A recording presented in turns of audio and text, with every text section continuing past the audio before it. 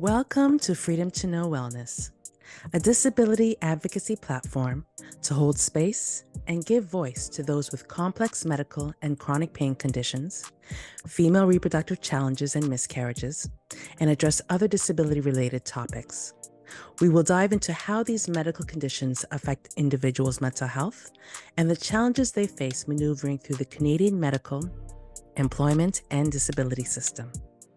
Our goal at Freedom to Know Wellness is to connect and bridge the gap between patients and the medical and holistic community in which they seek treatment. I am your host, Michelle Samuels. Today on Freedom to Know Wellness, we will hear about one woman's journey with uterine fibroids and the international doctors and services that saved her life. We will also discuss her current treatments and her life managing uterine fibroids. Today's discussion will cover various topics around uterine fibroids, including the racial disparity in uterine fibroids cases found in Black and Brown women. The woman speaking today is Dr. Nkem Kalu. Now, please note, Dr. Kalu is not a medical doctor, but in her own research, and of course from her personal experience, she advocates the importance of further research on uterine fibroids. But before we start, let's provide some context on uterine fibroids. In Canada, 40% of women between the ages of 20 and 50 have uterine fibroids. They can range from being asymptomatic to causing depredation on the female reproductive system. An interesting fact within that 40%, there is a high percentage of racial disparity in women suffering from uterine fibroids. Almost 25% of Black women between ages 18 and 30 have fibroids, compared to about 6% of white women of the same age. And by age 35, 60% of Black women will have uterine fibroids. Additionally, East Indian women were second in this percentage behind Black women burdened with this disease, according to the Journal of Obstetrics and Gynecology Canada. I find the word disease appropriately describes how uterine fibroids for many women experiencing them. I would even call it an endemic disease in women of African diaspora. But we will address this a little later in the interview. Today's interview is in two parts. Part 1 is the initial interview, and part 2 is a Q&A follow-up with questions pertaining to what was discussed and disclosing more personal information about Dr. Kalu's experience pre and post surgery. See part 2 in the link description below. Please note, in this interview, I made a comment about my friend getting hepatitis B 10 years ago. It was actually 25 years ago, but the memory of what she went through seemed closer. Please advise the information provided in this episode is from the opinions of the interviewee and interviewer. For further medical advice, please contact your practitioner. Now, let's begin the interview.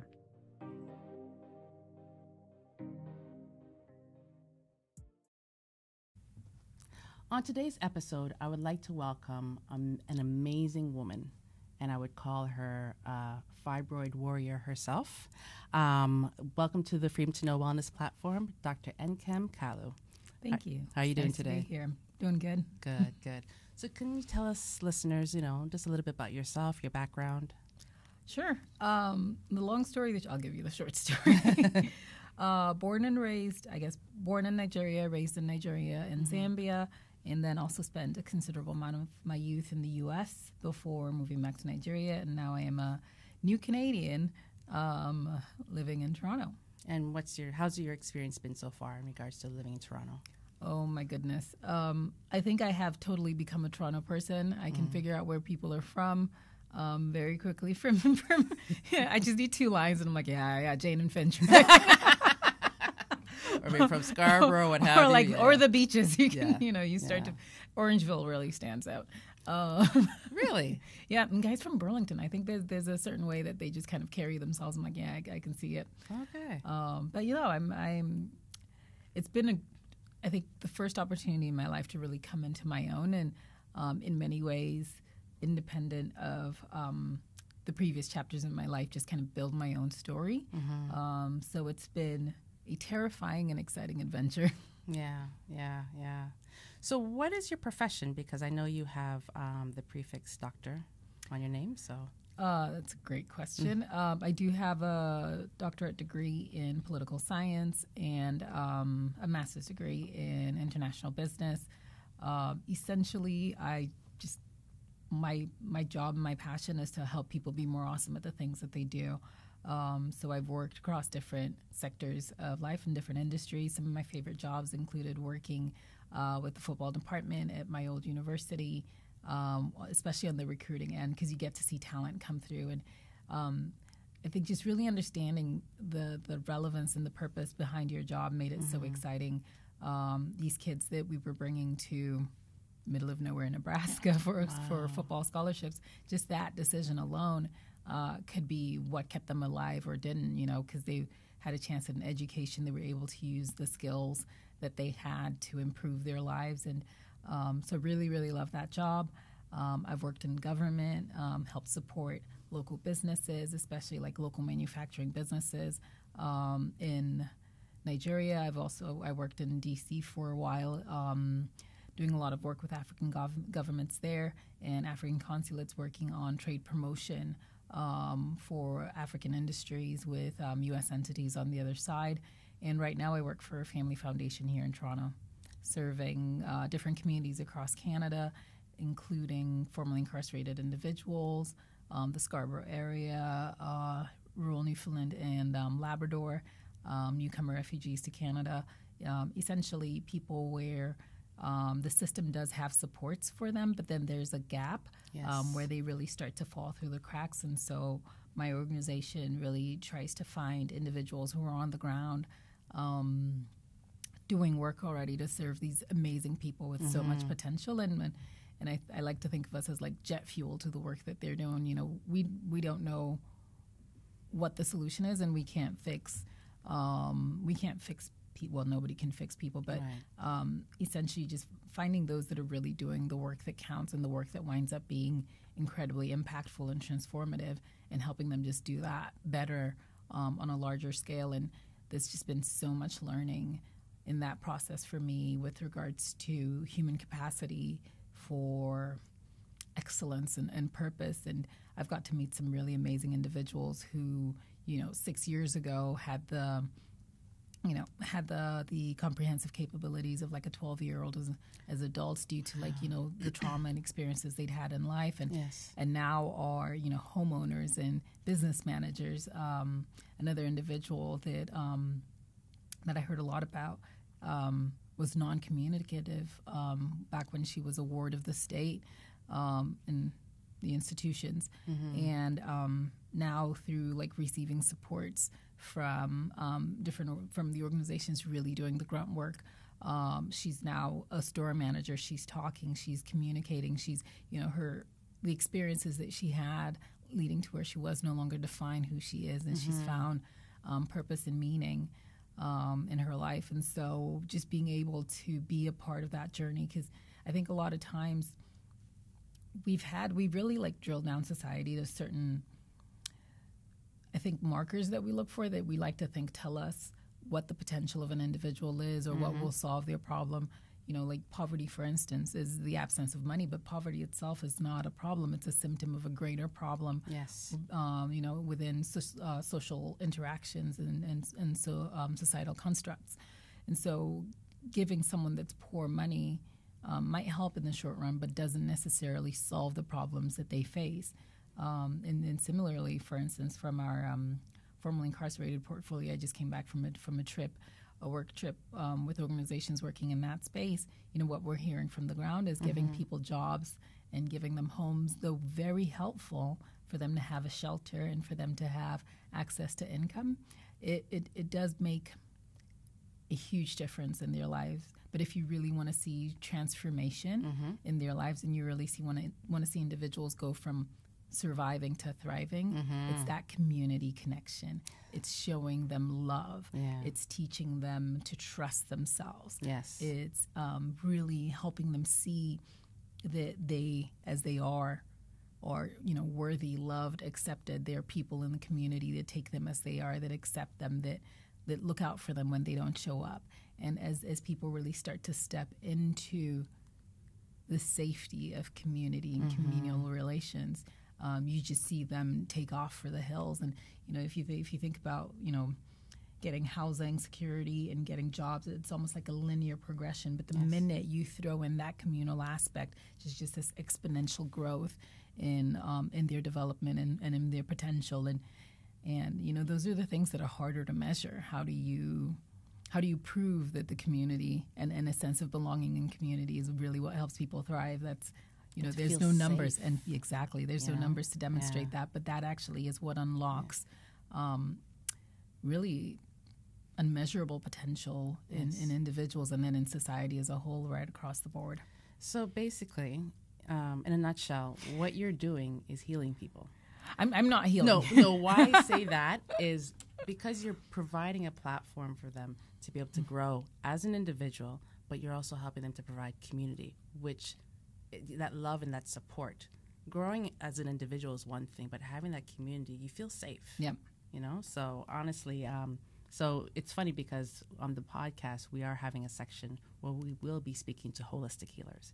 But what you have been doing with your organization, by the way, if you don't mind telling us, what is the name of the organization that you work Uh, for? the North Pine Foundation. North Pine Foundation. Yep. Okay. And if they anyone wanted to look um, look them up online, is there a website? Yes, uh, www.northpinefoundation.ca. Okay, keeping it simple. so let's get back to the topic on hand. We'll be talking about uterine fibroids, and you are no no newbie when it comes to that. Now, what? Tell our listeners when you first started experiencing the symptoms of fibroids. Oh, good heavens. Um, this is actually a great story. Um, I was in Nigeria at that time working. Um, uh, well, I'd, I'd gone back to Nigeria to reconnect with family, and, and I was working at that time in political communications. And um, I had met an individual, a quite fetching young man, and we went out on a date together. It was a Sunday. We went out on um, we went out on a date on Sunday and had a great time. And um, I dropped him off at home and drove home. And then about an hour after I got home, I started to feel just immense pain in my lower back, and I couldn't explain what it was, and I couldn't get comfortable. And I remember waking my mother up and saying, "I'm very uncomfortable. I have this pain. It's not going away. Um, can you help me?" And she took out some um, like a medicated balm. Um, a numbing cream and, and massaged it into my back and it, it didn't work it didn't help um, I just I couldn't sleep that whole night. All of the next day, there was no comfortable position, and so went to WebMD as as, as everybody does these days. And I was googling my symptoms. What is this? You know, unending pain in my lower back, and, and I saw some article about maybe it's because my jeans were too tight, um, and because apparently tight jeans cause back pain or something. Um, but I just I just was miserable, and I'd been on painkillers all day, and nothing was working. And so um, one of my family members worked at that time. She was um, she ran the kitchen in a hospital, and I asked her if she could talk to one of the doctors and see um, if they had any advice for me or if they could, you know, tell me something to just pick up at the pharmacy. I wasn't wanting to go to the hospital at all to get any help, but it had been at that point um, two straight days with no ability to rest or stop, just immense pain. Well, well, two days without sleep, but a full about 24 hours of like, you know, never ending pain. And I was absolutely miserable. And um, my cousin's wife didn't see my message till she got home. And when she found me, she said I was gray. And I, I don't quite understand how I can be gray, but um, according to her, I was really quite gray and my pallor wasn't right. And um, to create complaints from me, she bundled me in the car and rushed me to the hospital immediately. And they threw me into the ER immediately and were like, You're not well. We're not sure what it was. Um, immediately, they put um, an IV line in um, with painkillers and then started just a barrage of tests trying to figure out what was going on with me. And um, And you weren't having any bleeding at this time. um, no, no bleeding. But part of the issue, oh, well, not quite issue, but I'd been on. Um, I had a Mirena IUD in at that time, and so um, I would have periods of spotting and whatnot, but I, I, I didn't have because of the progesterone and the Mirena. I didn't have regular periods, so I didn't. I couldn't observe um, what my um, bleeding was like or what my spotting was like. Okay. But as they ran tests, um, one of the things that came up almost immediately was that the volume of blood in my body was dangerously low. I had about 30% of the amount of, of blood that I should have had um, in my body then in Nigeria, and they said, you know, we needed to give you a blood transfusion. Now, I'm a child of the 90s, right? Like I was, I was born in the 80s, but really came into like, you know, cognitive um, Yeah, understanding who and you knowledge are. of the world and a worldview in the 90s, and and you know, growing up in the early to mid 90s with the reality of HIV and AIDS all around, and knowing, you know, how in the early days we didn't know how it was spread, and so a lot of innocent people were, you know, getting. Um, we're getting the disease, getting the virus through shared needles, um, even within like hospital um, units where you know if, if the if the instruments weren't properly sterilized, um, people were getting sick that way or through blood transfusions. And I was this incredibly uncouth and like I remember looking at the doctor and just being mortified and saying.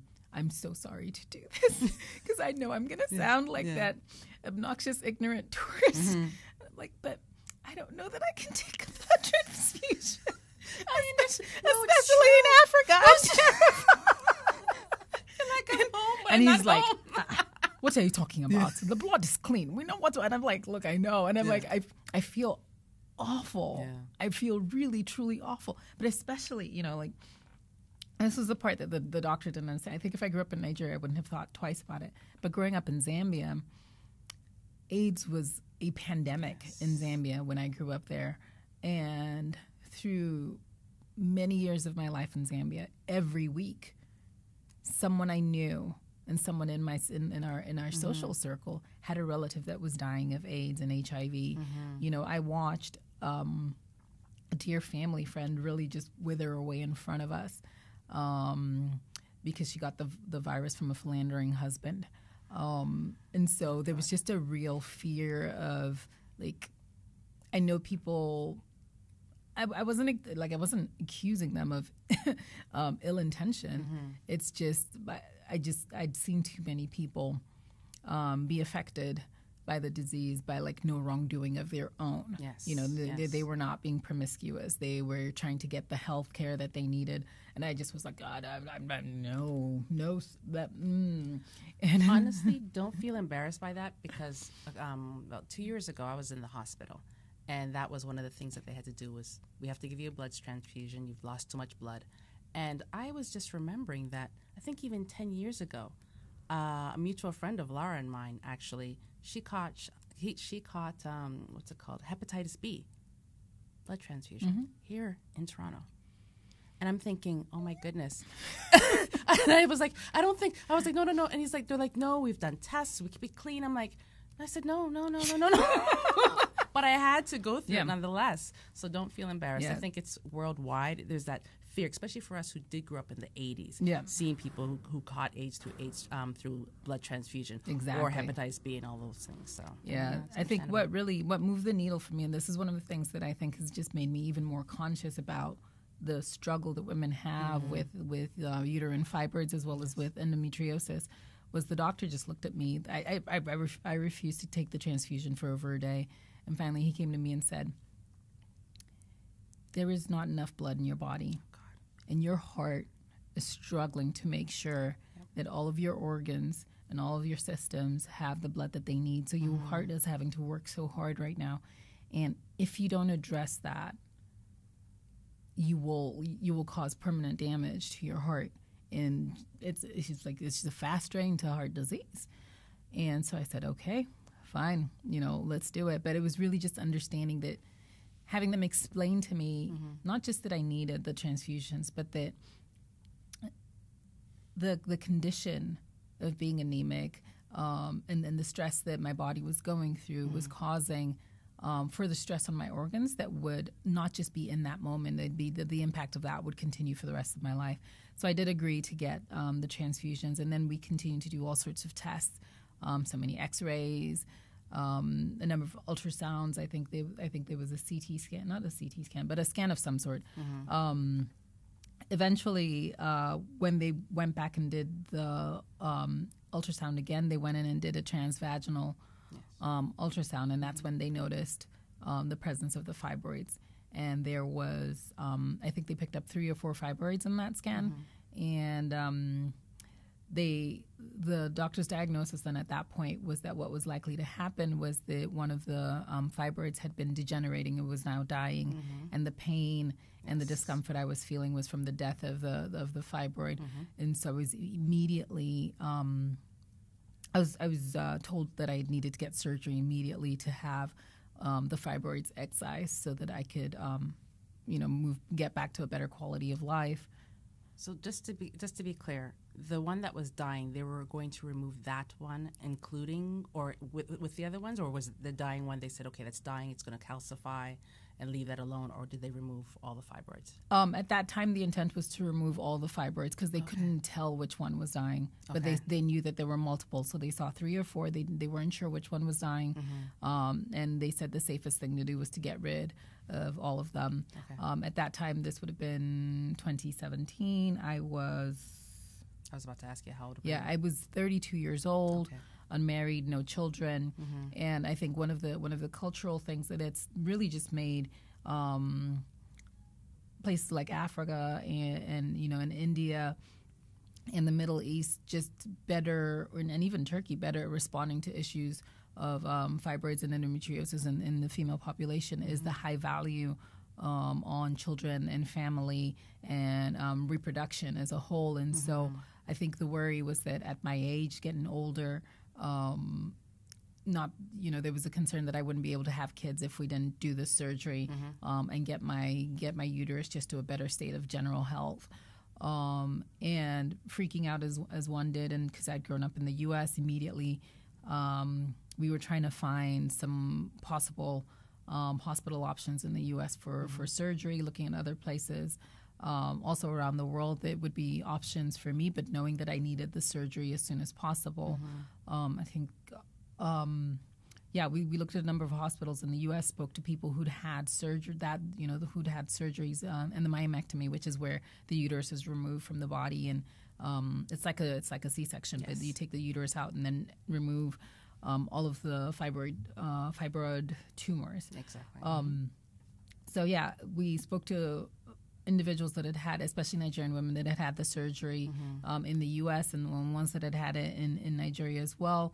And the general consensus, um, or the general messaging that I was getting back from Nigerian women that were friends of my family and friends of my friends was that um, it was actually much better to get the surgery in Nigeria um, than to get it in the U.S. The doctors were um, more familiar with um, Preserving. just the, the, the woman's body, um, preserving reproductivity, um, and um, and just had higher rates of success in um, dealing with um, with fibroids when it was interfering with people's lives, especially if it was caught um, in time. And so um, I- I think even as we continue to do research, we discovered that there was one hospital. It was and it was a public hospital.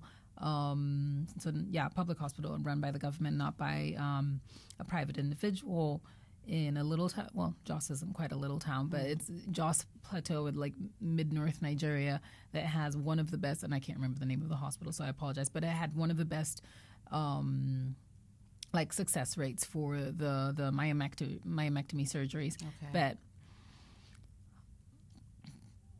I did not want to have to travel for my surgery one, and then also two was not particularly excited about being in a public hospital. right. Um, and at that point, I'd already spent about a week in the hospital with, um, as they were trying to just stabilize um, my system and try to and, and um, rebuild my immunity. And I, I had to share a ward with strangers. Um, and I was not doing well. I was crawling out of my skin. So, in other words, being in a private hospital in Nigeria obviously would have been a better option to get better care. Um, well, in in the private hospitals, there's a better opportunity for like private wards. Um, the private hospitals, some of them are quite big, it dep- and it depends on the hospital. You know, some ho- we do have um, state of the art, um, world class level private hospitals across Nigeria. They're just way more expensive than the Yes. public than the public hospital. But this particular public hospital had a really high rate of success with myomectomy surgeries. But I made the decision not to go there. Um, I wanted to stay at the hospital that I was at and with the doctors that I'd worked with. I felt like I'd developed a good rapport with them. Um, one of the things that I think was also quite challenging for me, and hopefully my parents never see this podcast, um, was yeah, I did have I did have Mirena. I had an IUD Yes. inside of me. Um, I had had a few instances earlier where I was needing um, medical care, and doctors had heard.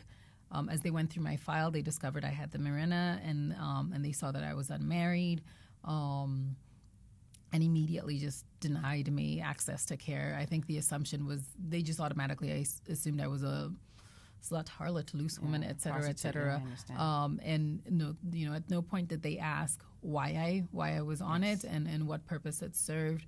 Um, they just you know, like I'd go in and I had a serious condition that Mm-hmm. needed to be served, and they'd be like, take a painkiller and vitamin C when they saw that. So backtracking a bit, when you had the Mirena put in, was it put in when you were in the states Yep. or what? Okay. Yeah, um, I, it was put in when I was in the states, and I'm, I'm really grateful for um, the Affordable Care Act um, that came through in the U.S. because that meant that I was able to get the Mirena for free, and at um, thanks to the Obama administration. Prior to that, it would have been it would have cost so much money um, to get access to that, and um, I wasn't very good with um, with the pills. I don't like taking medication every day. Um, my sister also was an athlete and needing being able to regulate her um, hormones. Um, it affected her performance as an athlete, and so this was something that she she needed for her own just uh, professional athletic career. And as I saw her kind of work through those decisions on her own, I was like, well, you know, it makes sense for me to get this too. Um, and I didn't know what my future held, and I knew like I wasn't planning on having kids in the next five years. So it, it made sense for me to just take this as a precaution, especially as a free service um, at a service center, a healthcare center facility that I trusted. Um, so yeah, I had I got that in the U.S., but when I was in Nigeria, you know, I I mentioned it to the doctors, and at that time I also kind of I needed to get it out, and so I was able to very secretly think I'm so grateful to the doctors. Um, they were able to extract it for me Okay. um, without the knowledge of my family members. Yes. Um, and, and just they, they protected my privacy Good, in that way, which was immense. Um, also, they told they told me while they took it out, it was quite hard for them to find it because it had traveled up and like lodged into one of my fallopian tubes, and yeah, Oh, my so it took a bit of work for them to find it. But I was like, "Thank you, you found it, you took it out." But So wait a minute. It it fa- it found its way up into your your fallopian tubes. yeah, So that would have caused infertility issues right away. You could have lost Yeah. your fallopian tubes. yeah. Oh my goodness. Okay. Um, thankfully, that didn't happen. Yeah. Thank God. Thank God. Thankfully that didn't happen. But so um, yeah so i wound up i think it was a week later scheduled my surgery. Went in it was meant to be an hour long surgery. I wound up being in the or for five hours. Um, and um, my family was just incredibly concerned. Yeah. um, i have no recollect I've just just like there's like misty wafts of, of, of what occurred over the next like 24 to 48 hours because i was very very um, heavily sedated. Um, but essentially when i when i came to and started thinking uh, more like a regular human the doctor said they'd found 19 um, fibroids on my uterus and not the three or four that they initially assumed um, which is why the surgery took much longer um, than expected um, That tends to be a common story among among Yeah. women that you they see one thing with the ultrasound and then when they go in they see way more. so much more yep So um, this is some thoughts that's coming through my mind.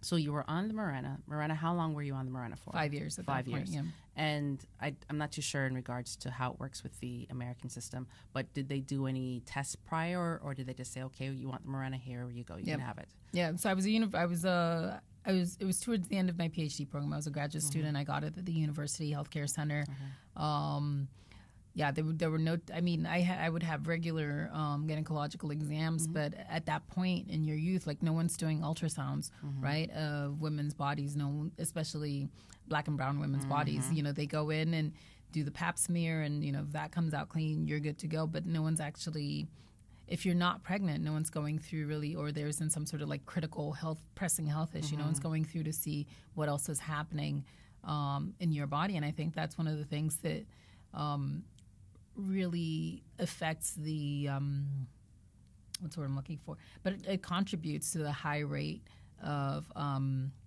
health complications around um, you know communities of color, especially. Um, especially yeah with fibroids and endometriosis you know by the time we actually figure out what's going on this is something that we may have caught before but Yes. who you know who's willing to pay for um, for that maintenance and, and and that who's willing to pay for for those preventative um, scans you know since and then I'll, I'll give this as an aside since my um since my since since I had I had my surgery in 2017 when I moved I moved to Toronto in 2018 and then in 2019 I was starting to get cramps um, in my in my abdomen just really really painful cramps and I went to I just went to a walk-in clinic and at that time they they assumed it was gas. They were like oh we think it's gas but since you've had a myomectomy before since I'd had this surgery before let's go in um, and get an ultrasound done and when I went in for an ultrasound they're like yep fibroids are back you, you've got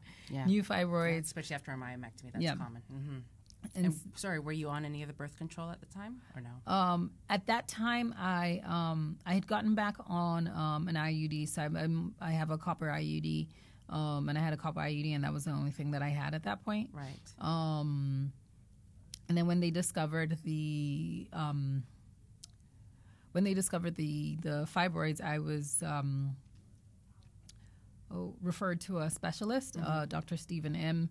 Um, amazing, amazing doctor. Like he's been such a, s- a source of support for me. Where does Um, he practice out of? He is at uh, Bay and Bay and Gerrard. Bay and College. Bay There's, there's that there's that building right in, in um, at Bay and College on the southwest side. I think it's like 900 Bay or something. Oh, I know exactly yeah, where you're speaking. and yes. Mm-hmm. like it's just all medical facilities in there.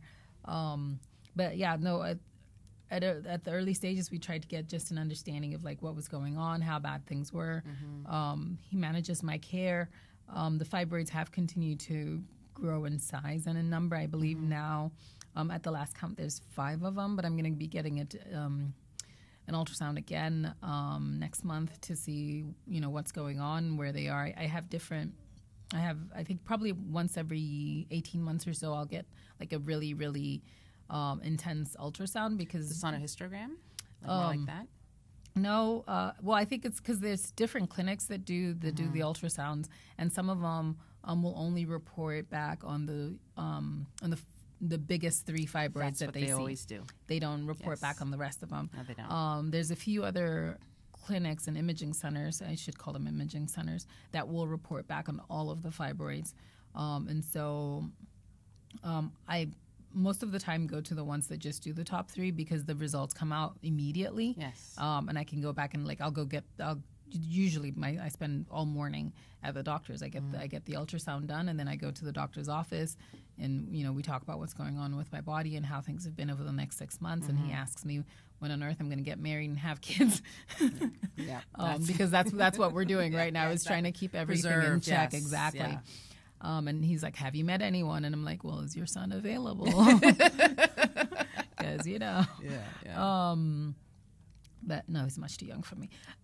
but you know, it's funny. I find it frustrating as a woman myself who has fibroids and who has a lot. And they always focus on the main three. And I kept saying to them, Oh, you know, can you look at the other ones that are there?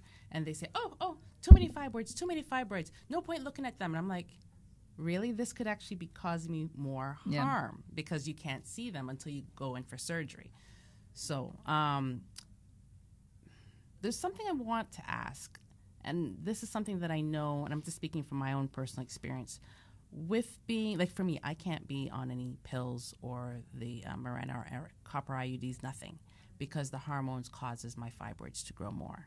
Is this something that the doctor had mentioned to you at all, or no? Um, so we're not sure if the progesterone and the Mirena affected my, you know, either triggered the fibroids Okay. or, or made them grow larger or whatever. I did have the Mirena at the point that I had surgery.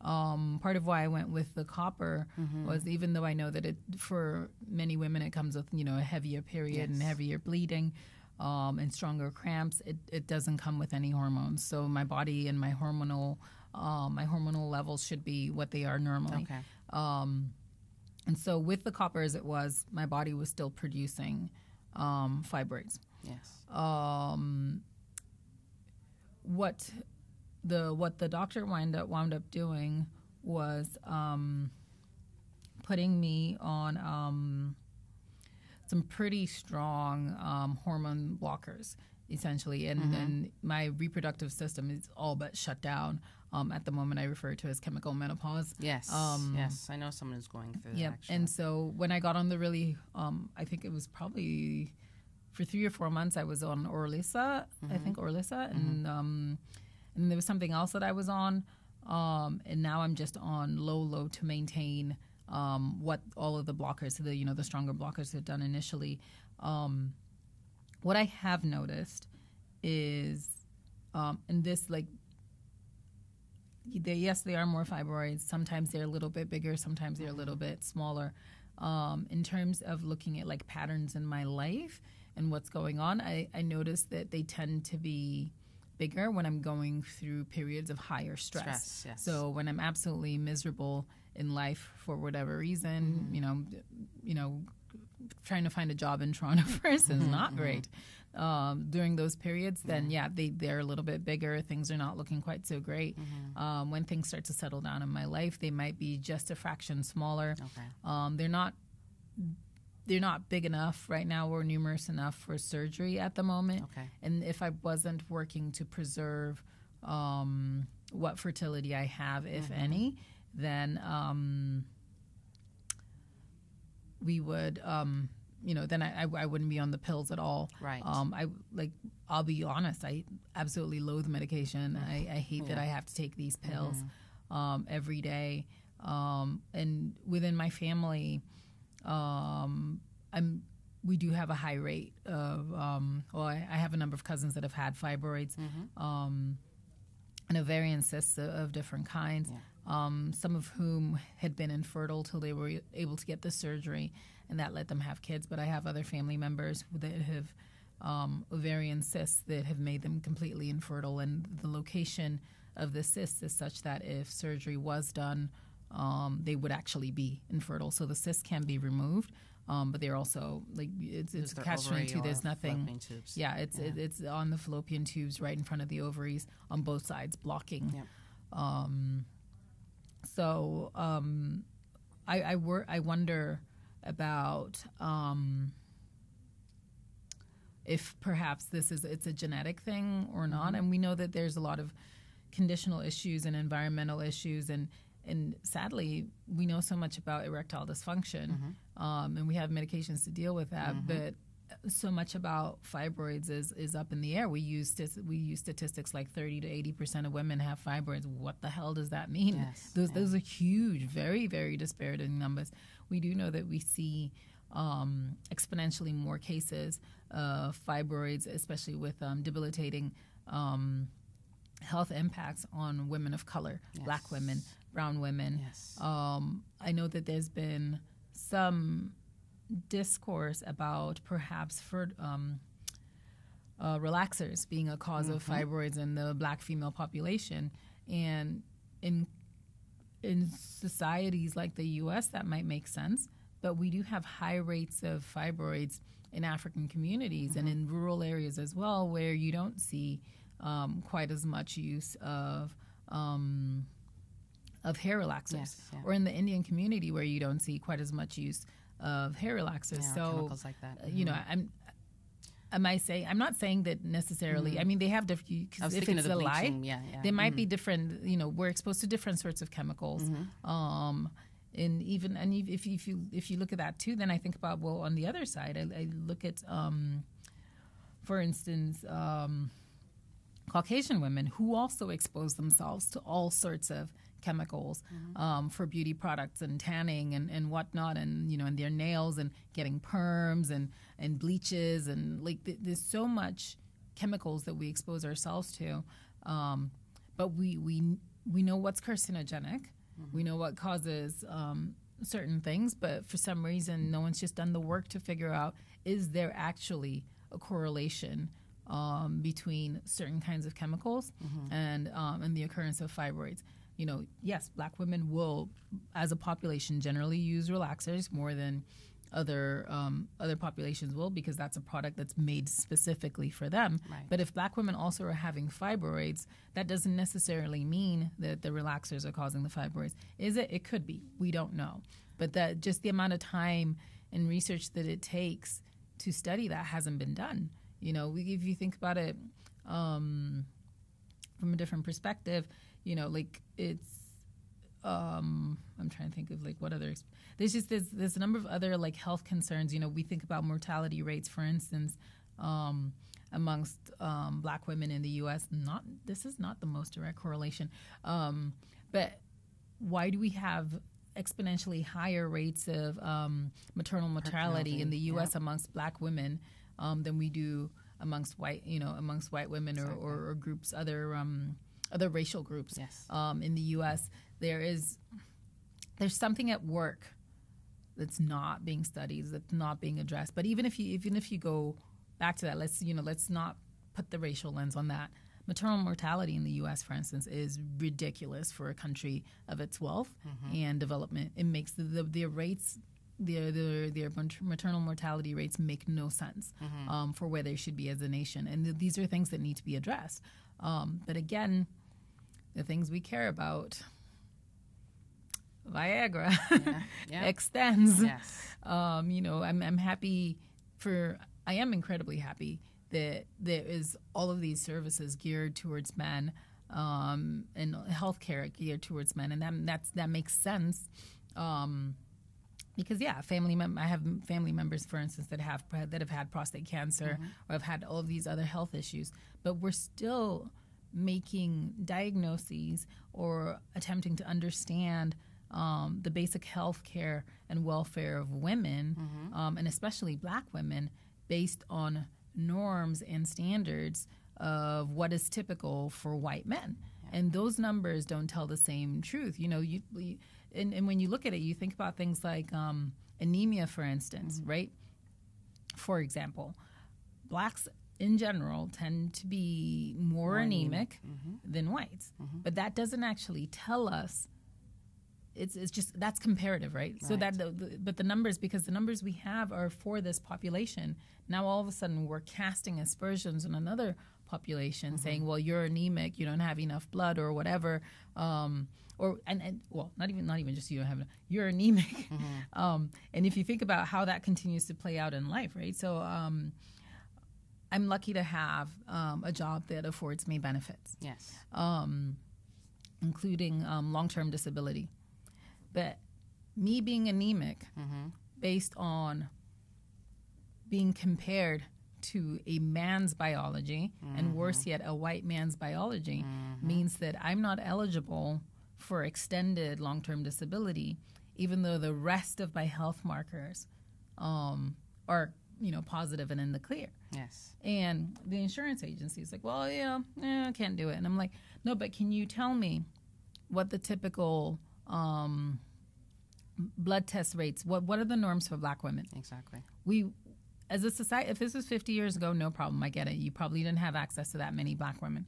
Every time we go into all of these hospitals, St. Michael's, uh, Scarborough, St. Joe's, wherever, every time we go into the hospital, they're drawing blood, they're taking, um, they're taking, you know, tests, doing all of these things. You can't tell me that we don't have enough samples in any of these hospitals, or actually across all of them, to start to understand what the normal levels are, for instance, um, for different sets of populations, so that we can actually provide them with the care that they need based on what their reality is and not what the reality is for a smaller subset of the population or just a certain subset of the population. You cannot gauge me or diagnose me based on the experiences of a body that's entirely foreign and different to mine. Bone density different, muscle mass different, um, weight different, height different, body needs different. You know, metabolic body. rate Yeah, different. exactly. That that body does not function as my body does. And to expect my body to function in the way Same that that body theirs, does, no.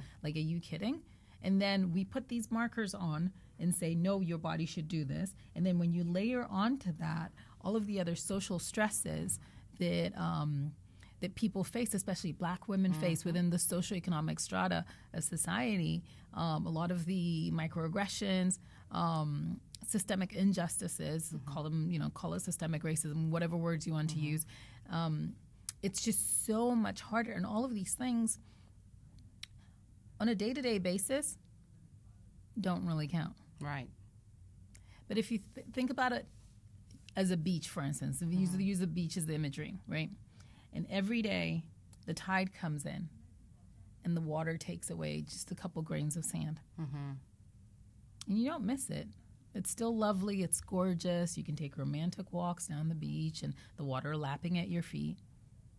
But all of a sudden, 10 years later, you look back and half of the beach is gone. Mm-hmm. Mm-hmm.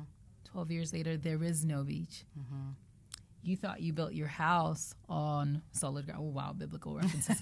you know, you thought you thought you built your house on solid Yes, ground, Yeah. and now the ocean's lapping at your door. Yeah. And your house, your home that was not even at, on the beach, your home that was further away, mm-hmm. is being washed into the water. Mm-hmm. Mm-hmm. But why are we not paying attention when the few grains of sand are, are pulling back, right? Why are we not paying attention or even trying to understand what is going on here?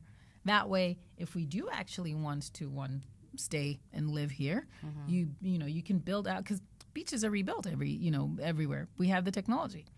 We have the technology to save human lives. We have the technology to make sure that there isn't food insecurity across. We build, we we manufacture more than enough food um, for the world population as it stands. We have the technology to make sure that people have access to greater uh, social determinants of health, but we don't do it, and for for multiple reasons. And then you look at like a, a- a community like here in Canada, where, for instance, um, or I should say here in Ontario, we have this fairness clause in our healthcare system where every community is expected to raise a certain percentage of their um, healthcare needs for the gov- for the government to then invest in their local healthcare network.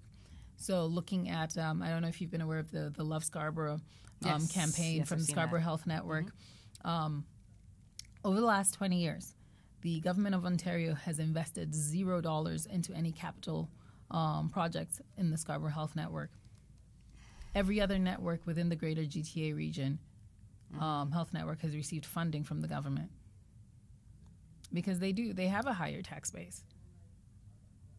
But because the community in Scarborough is not able to raise that money because they don't have the disposable income Exactly. um, for that, even though, and we don't talk about right the things that are causing um, lack of access to disposable income.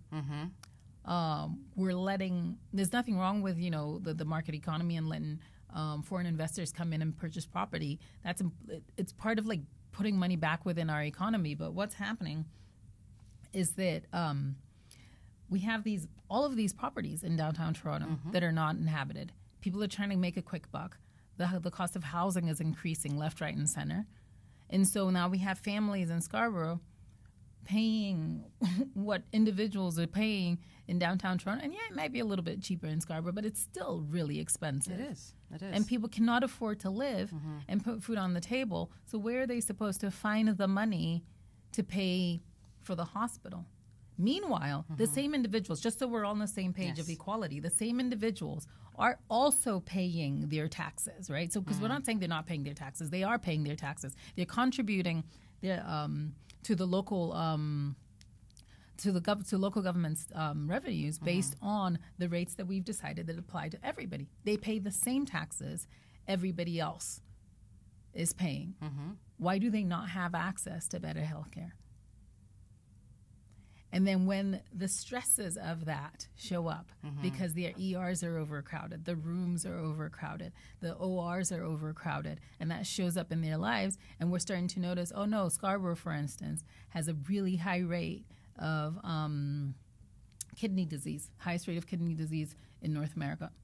Um, we don't even know how many women have fibroids because who has the time to sit and wait for hours to get access to primary health care? No, they're basically saying Who- that they have no time. Who even has a GP? A lot of people are in need for GPs, yes, and a lot. And that's not and that's not just a Yeah. Scarborough problem. yeah. Friends Yeah. that live here in downtown Toronto do not have have been waiting for years for a GP. Mm-hmm. And if you don't have a GP, no one's actually tracking what's because I think this is it's been interesting to think about this because the GP model, right, was you had a doctor and that doctor followed you through your life. Yes. So that even if you lost track of the things that were important or you you you forgot to mention to the doctor that you were feeling some sort of way. Mm-hmm. The next time you show up at your visit, the doctor might say, You're looking kind of gaunt, mm-hmm. or you're looking heavier. What's going on with you? They can ask you and check in with you and make sure everything's okay. Exactly. And that way, they're able to catch um, any major diseases or any major changes in your health, in your health and in your body mm-hmm. early on, and get you the care and the treatment that you need. But if people don't have access to that, they only show up to the hospital when they have no other option. And oftentimes it's way too late. Mm-hmm. It's mm-hmm. way too late at that point. And we keep, you know, these are. I think for me, what's gutting is it's not that we don't know. We know when we do nothing. And then that's really frustrating for me. And so, um, one of the things that I was super grateful for about the work that I do is um, working with the Northpine Foundation, we were able to um, make make a capital investment in Scarborough Healthcare um, in the Scarborough Health Network, and as a result of that, it our investment provoked other um, private funders and philanthropists within the GTA to invest money as well, and it unlocked um, a significant amount of money from the government. Um, and for Scarborough, it was the size of that investment was um, the biggest thing they'd had in like they just were dumbfounded they hadn't expected Right. that amount of, of capital um, and i think for, it was it was really great to see how it got things like kicked off for them and you know i there's a part of me that's like, well, you know.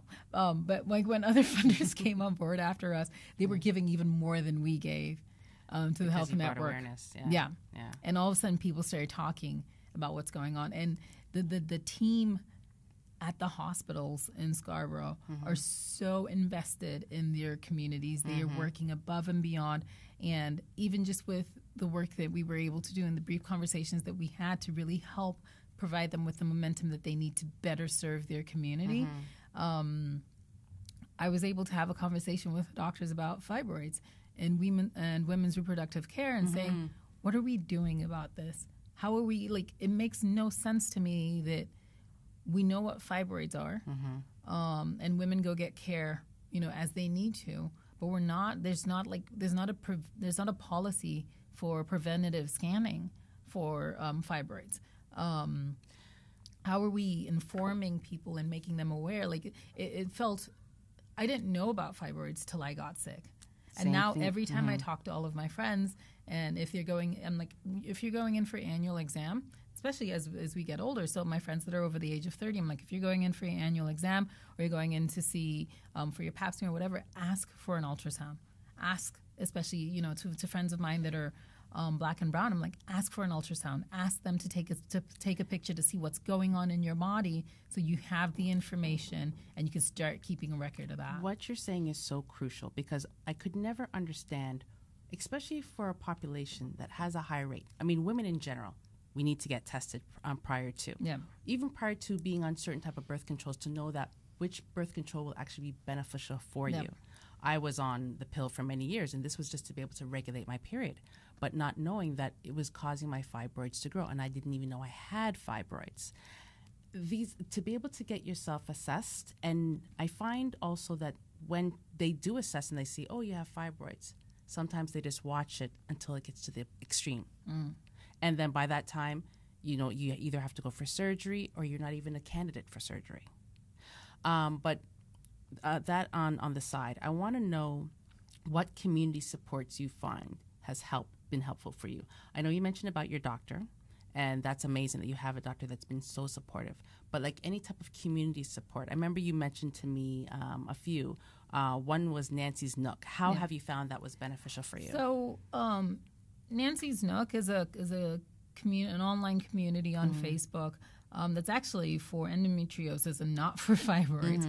But as I was trying to understand what was going on in my body, um, especially post surgery, what the healing process would look like, I'd, I'd never had any major health, like I'd never broke a bone before that.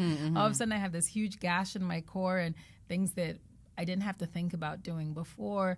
Um, I, I wasn't even able to do anymore. Yeah. Um, and so I was trying to find just some place where there'd be some sort of understanding where people were talking about, you know, what was going on. And it was quite clear that um,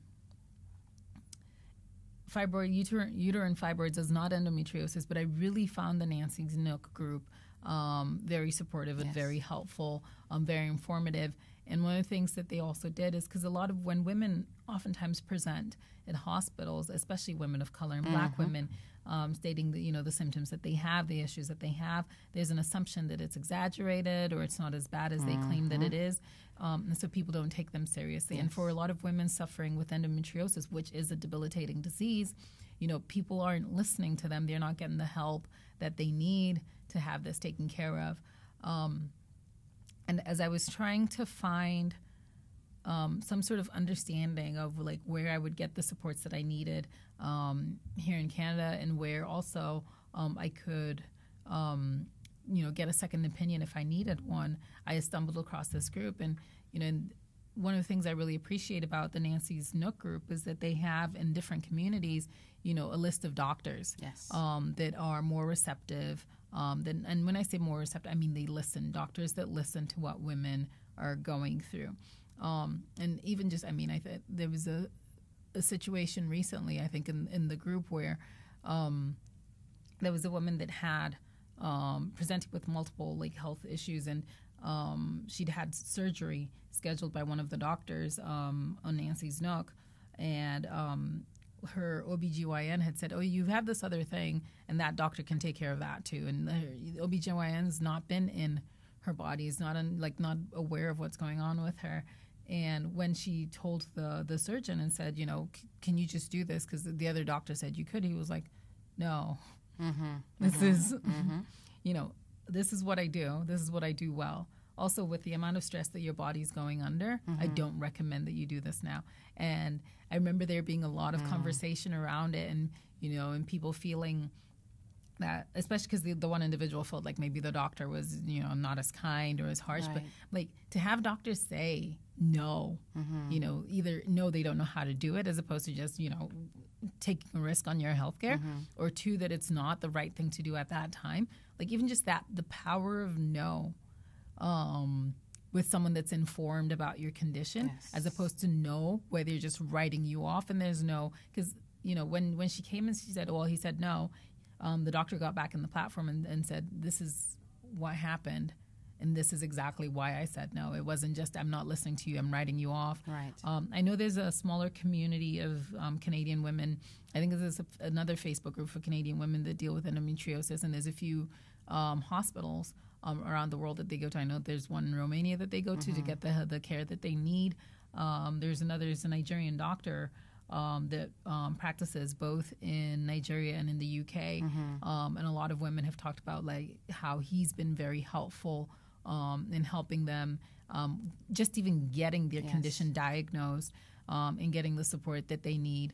Um, And this doctor, he does he focuses only on endometriosis, or is also uterine fibroids? Um, he's a surgeon. I think it's it's generally just women's issues. Yeah, that that was my understanding of his um, the extent of his practice. He was in a different he was in a different city um, to the one that I was in in Nigeria. But again, it was as as people talked about the the care and support they got from him.